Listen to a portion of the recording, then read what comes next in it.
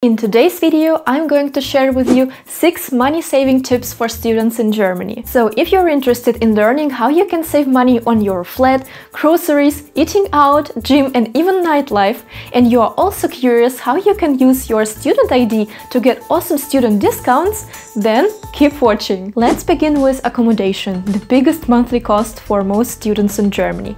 The most popular choice for affordable living in Germany is joining a WG, a shared flat where you split rent and utilities with other people. So you basically rent a room in an apartment instead of renting the whole apartment. Most Germans do it this way, so there is nothing unusual about it, and besides it can also be a fun way to meet some new people. Student dormitories or Studentenwohnheime provided by universities are also a great low-cost option.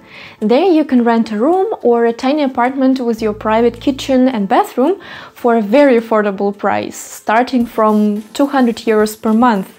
But make sure to apply very very early as these are in very high demand. Next up, take advantage of all student discounts. Carry your student ID everywhere. Cinemas, museums, parks and various kinds of events offer reduced prices for students. Usually it's a 30 or 50% discount, but sometimes you can even get a ticket completely for free. And even some banks or telephone providers have special deals for students, so don't hesitate and always ask whether you can get a discount as a student.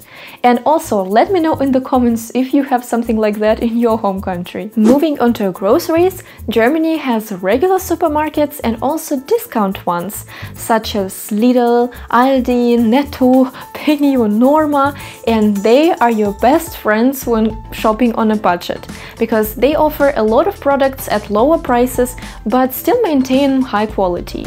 And just so you know, not only students or low-income individuals buy groceries in these discount supermarkets, nearly all Germans shop there. When it comes to eating out, there are also some smart ways to save a lot of money. The university canteen, known as Mensa, provides meals at very student-friendly prices. Usually a hot meal there will cost you only 3 to 5 euros instead of 10 or 15 in a restaurant, and often the food in Mensa also tastes really good. You can also check out cafes and restaurants offering Mittagsmenü or lunch specials, and these are usually available until 2 pm and cost much less than what you can get in the evening. And of course, also don't underestimate the power of cooking at home. It's way cheaper than eating out. Let's also not forget about staying active and engaging in sports. Universities offer various sports programs through Hochschulsport. Just Google Hochschulsport and then the name of your university and you will find it right away. These university sports centers offer all kinds of sport activities from yoga, football to dancing and all others. And usually there is also a gym that you can use. A monthly subscription for Hochschulsport is always much cheaper than going to a regular gym or visiting similar classes in the city. Last but not least, as for the nightlife, there is also a funny tip for young people.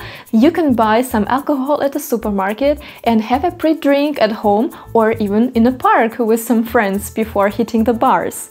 It's not prohibited to drink alcohol in most public places in Germany.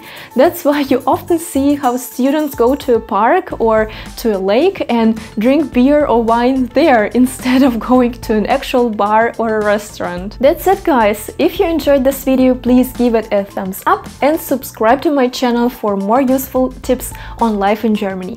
Thank you for watching and see you in my next videos. Bye bye!